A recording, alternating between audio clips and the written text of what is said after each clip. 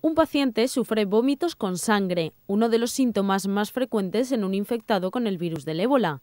Esta ha sido una de las situaciones que se ha simulado en el Hospital La Fe de Valencia durante el curso de preparación clínica a los profesionales ante un posible caso de contagio por ébola. Se va a hacer formación teórica talleres de, puesta y retirada del traje sobre todo, cómo extraer muestras, cómo cursar las muestras, cómo eh, realizar eh, las técnicas y después los talleres de, propiamente de simulación clínica en los que se recrean diferentes tipos de escenarios con las complicaciones más habituales de estos pacientes en los que participarán los profesionales de manera multidisciplinar. La recreación es grabada para aprender a partir del error.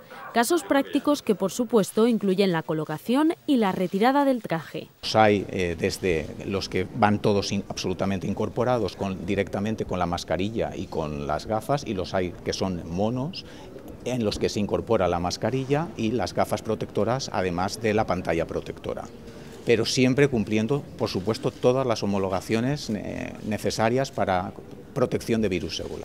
Aunque para atender al paciente, en este caso, entrarán la enfermera y la auxiliar, una tercera persona se encarga de guiarlas y ayudarlas a vestirse desde fuera. Los puntos críticos eh, son varios.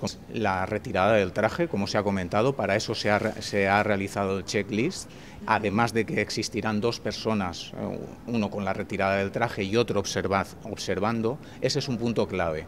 El otro punto clave es la asistencia al manejo del paciente o post-mortem o terminal o cuando se produce cualquier tipo de intervención que puede generar aerosoles.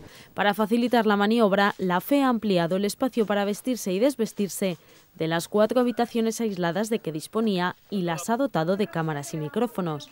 La enfermería está preocupada, pero los profesionales conocen los protocolos.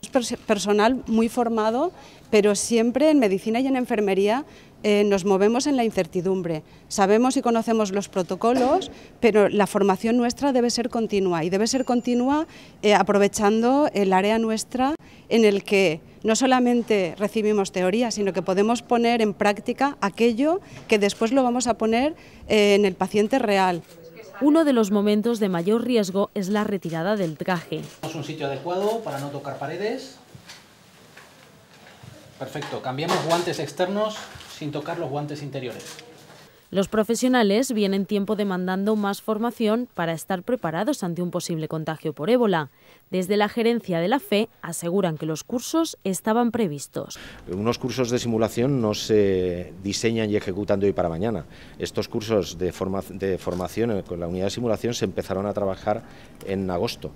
Eh, lo que ha dado la casualidad y ha dado la casualidad y ha precipitado el empezar con estos cursos, pero ya se estaban trabajando desde agosto. Por... Nosotros en nuestra mano lo que está es trabajar, cumplir los protocolos y eh, que todas las novedades epidemiológicas que van surgiendo, actualizarlas permanentemente, como así hemos hecho desde el día 11 de abril que surgió la alerta. Desde ese primer momento se estableció el primer circuito y borrador de protocolo y esto es un proceso dinámico que en función de la situación epidemiológica se va actualizando. Más de 700 profesionales de las unidades de urgencias, cuidados críticos y pediatría está previsto que pasen por estos cursos.